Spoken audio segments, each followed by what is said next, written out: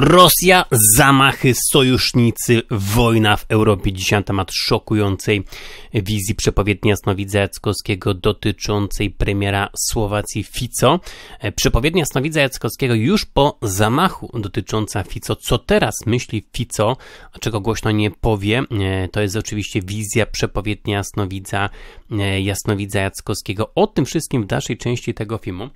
Na samym początku, jeśli mnie jeszcze nie subskrybujesz, to zostaw suba, też łapkę do góry pod tym filmikiem Kliknij na grze w dzwon, a dostaniesz powiadomienie, kiedy wrzucę nowy filmik. Wejdźcie też na mojego fanpage'a na Facebooku, zalekujcie go.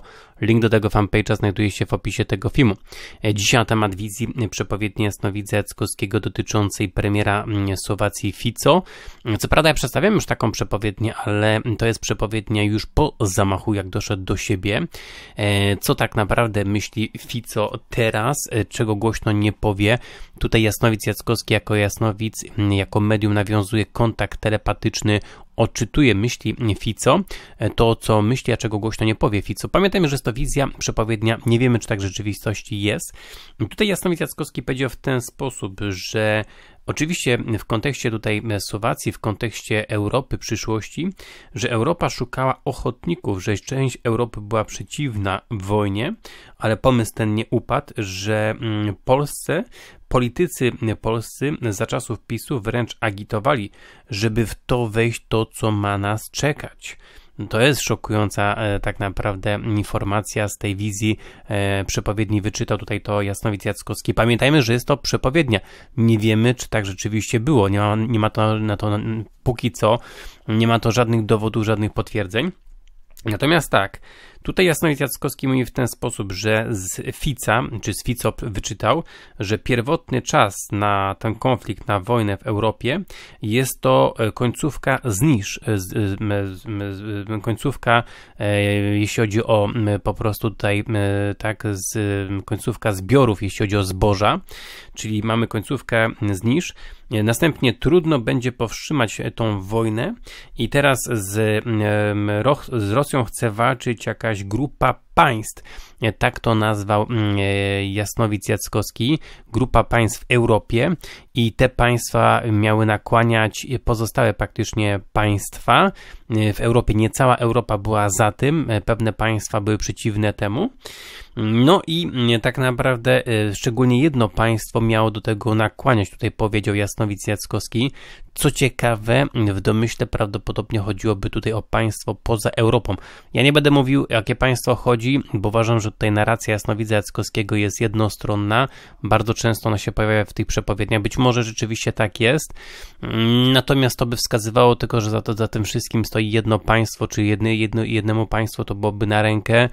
Mm, nie chcę przyjmować takiej narracji tutaj na swoim, na swoim kanale praktycznie, tak? Natomiast tutaj, mm, tutaj tak mówi tutaj Jasnowic Jackowski, że Europa szuka ochotników na to, co ma się wydarzyć, tak? No pamiętajmy, że tam jest kwestia praktycznie tego, że konflikt Rosja kontra NATO, czy niektóre państwa będące w NATO, nie wszystkie państwa będące w NATO, a więc kilka państw. Jasnowic Jackowski przedstawiał, że to będzie 5-6 państw.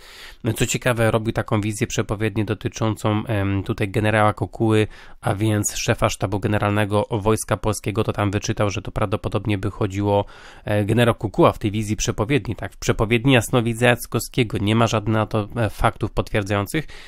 Z, z generała Kukuły wyczytał, że tu chodziłoby o cztery państwa państwa. Sam Jasnowic Jackowski mówił o 5 do 6 państw.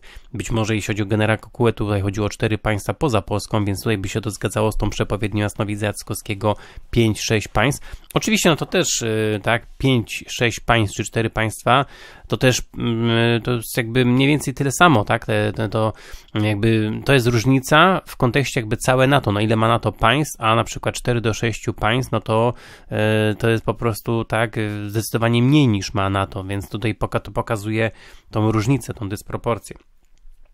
Czyli tutaj właśnie Fico, co ciekawe, tak, Polska, po, po, polscy politycy za czasów PiS, PiSu wręcz agitowali, żeby w to wejść, to co praktycznie ma nas czekać. No tutaj to, to znaczy, że co, należałoby to odczytywać w ten sposób, że agitowali, żeby doszło do wybuchu wojny? Raczej nie, tak, raczej po prostu może agitowali za to, no, na, na temat tego, e, co miałoby nas czekać, tak, po prostu jeśli chodzi o dalsze działania. No też była taka przepowiednia Jasnowidza Jackowskiego, gdzie Jasnowic mówił, że rząd Prawa i Sprawiedliwości podjął decyzję i teraz rząd Donalda Tuska nie może podjąć żadnej innej decyzji po prostu, bo musi kontynuować te decyzje, które zapadły za rządów Prawa i Sprawiedliwości, tak? Mm, natomiast tego też jestem ciekawy, tak? No to znaczy, że co nastąpiłaby zdrada ideałów, po prostu zdrada, zdrada, e, trybu, e, zdrada stanu, jeśli chodzi o, czy racji stanu, jeśli chodzi o państwo polskie, wpędzenie Polski w wojnę, czy to by oznaczało coś innego, tak? Jakby też można by powiedzieć taki cios wyprowadzający, zadanie ciosu wyprowadzającego, zanim sami po prostu byśmy przyjęli cios, tak?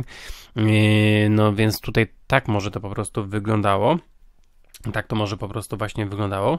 I tutaj yy, właśnie jeśli chodzi o końcówkę yy, praktycznie tutaj lata, jeśli chodzi o z, z, tutaj zbiory, tak, żniwa, yy, końcówka żniw, tutaj właśnie końcówka żniw, to wszystko się zacznie, tak, końcówka żniw, to się wszystko praktycznie zacznie, a więc pierwotny czas to była końcówka żniw, tak to nazwał, tak to nazwał właśnie tutaj Jasnowic Jaskowski w tej wizji przepowiedni dotyczącej premiera e, Słowacji, tak, Fico.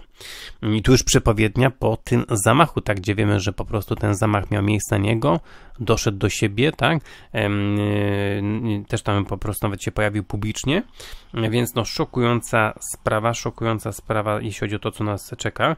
Też ciekawe, że Europa szuka ochotników i część Europy była przeciwna.